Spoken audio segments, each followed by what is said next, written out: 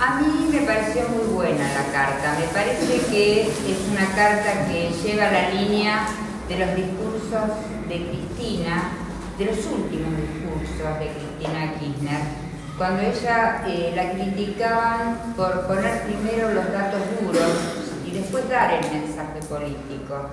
Y me parece que esta carta reproduce en ese sentido e-, ese lineamiento que creo que es muy importante, porque independientemente que no todos conocemos de economía o de porcentajes, este, es meritorio, digamos, que este espacio eh, pueda poner, digamos, eh, esos datos eh, crudos de la realidad como para después enmarcarlos políticamente. Me parece una muy buena carta. Estoy de acuerdo con Adriana que se podría alivianar, porque es larga, la lectura con algunos subtítulos o algunos subrayados. Hay un aspecto político que yo no me voy a referir a la situación actual porque estamos todos actualizados y nosotros no somos comentaristas de la realidad.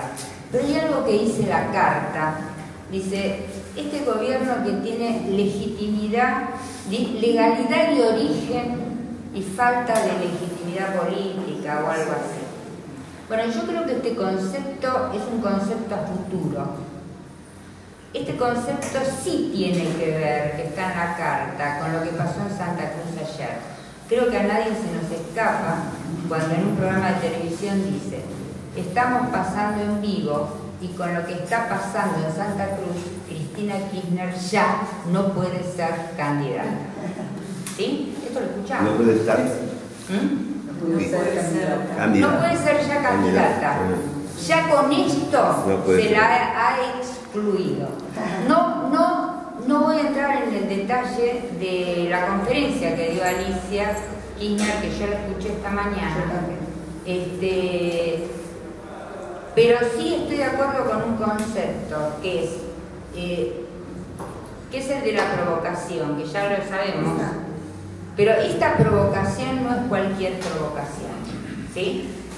Eh, yo no conozco los fundamentos de por qué no se está pagando en Santa Cruz o se les debe, no lo conozco realmente, digamos, ¿no? No sé si se le están girando o no se le está girando el dinero, uno supone que no, este, supone que no hay insensibilidad de parte de Alicia Kirchner, pero lo que es importante, que quiero recalcar a partir de esto que dice la carta, de eh, degradación de la democracia, es que esta provocación eh, tiene que ver con una deslegitimación, digamos, de ese origen legal del gobierno y que uno lo lleva indefectiblemente a preguntarse hasta cuándo y cómo va a aguantar nuestro pueblo, digamos, la degradación de la democracia. Entonces, esto es una pregunta nada más. En relación a la carta misma, eh, quería decir eh, un poco abuelo de pájaro nada más, que en el punto 17, eh, para mí personalmente entiendo, pero me parece que está confuso, cuando dice, como conclusión y parafraseando a Oscar Barzaghi, tanto en el periodo de los 12 años de gobierno kirchneristas como en algo más de un año de, gobierno macrista, puede apreciarse la total coherencia entre el proyecto nacional en curso y el estilo tecnológico y científico adoptado. Para mí, este párrafo es confuso. Es decir, no cita a Barsasky, entiendo lo que quiere decir respecto a Barsasky, pero me parece que el párrafo en sí mismo no está expresando lo que quiere expresar, porque acá no hay un proyecto nacional en curso, ¿sí? No será popular, será un proyecto nacional, no sé lo que quiere decir, pero me parece que este, eh, eh, es necesario por lo menos o sacarlo o reformularlo. Este, después, en la página 11, ahora les digo, ahora les digo, les digo el párrafo. ¿Se puede cambiar por proyecto del país? Claro, digamos, se, pueden tener distintas eh, formas, digamos, donde no se coloque proyecto nacional y, y quede como emparentado el proyecto nacional y popular con el proyecto de Macri. Y, y encima citando un autor, digamos, o sea, me da la impresión de que alguien quiso escribirlo este, y lo sabía bien en su cabeza, pero no está expresado desde el punto de vista textual.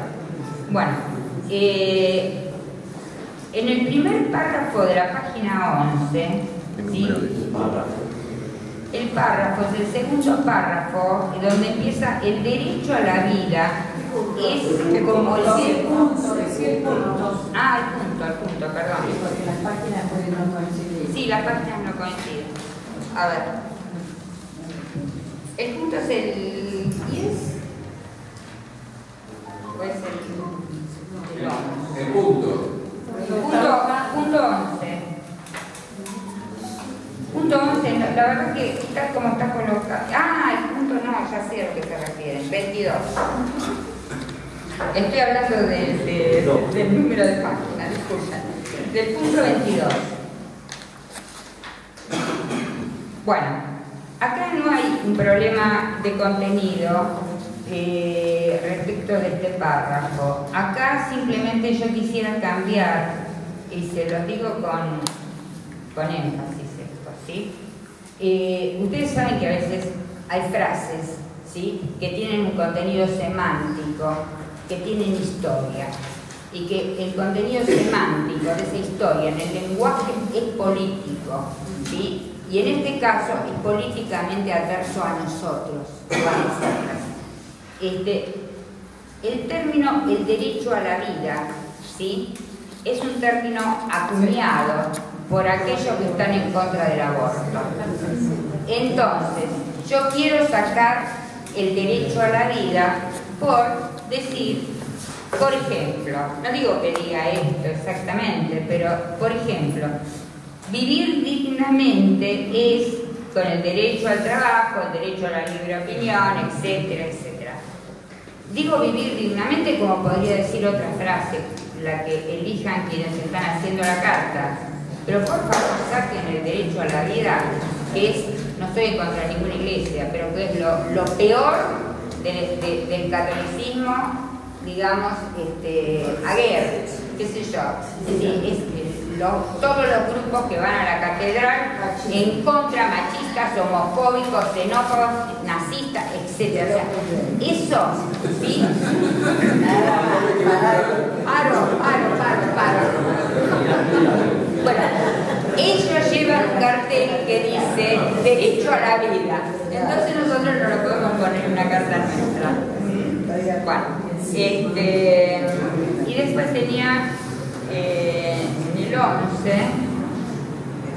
Ah, no interesa que lo encuentre. Simplemente eh, quería decirles lo siguiente. Yo no comparto, no comparto. Disculpen que siempre ponga énfasis a veces en el lenguaje, pero es una cosa que a mí personalmente y más cuando estamos trabajando eh, una carta, digamos, tenemos que ser cuidadosos. A mí no me gusta, pero eso no significa que ustedes no lo aprueben, porque no es mi gusto. No me gusta el término esencia, ¿sí? Me parece que podría ser reemplazado perfectamente por fundamento o por otro tipo, digamos, de término. ¿Por qué? Porque siempre que nos referimos a esencia, lo mismo que con derecho a la vida, esto, ¿sí? plantea una cosa, digamos, ideológicamente no compatible con nosotros, ¿sí? ¿Qué es la esencia de algo, digamos? Es un fundamento este, absolutamente inamovible, no dialéctico, único, universal y además, ¿quién lo dice? ¿Quién dice cuál es la esencia? ¿Eh? Entonces, eh, no es que sea, eh, no estoy objetando el párrafo, ni mucho menos, estoy objetando en este caso solamente un término. ¿Qué párrafo está el término? No. ¿En dónde está? En la- Ah, El número de párrafo es. eh, el número de punto. no les digo, porque yo lo había marcado. Si cada número habría que poner un título. Sí, porque es difícil encontrar a veces.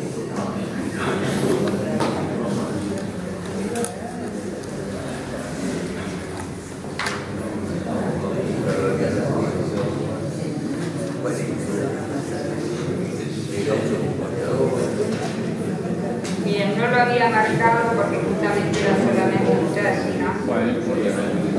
Me parece que era la página.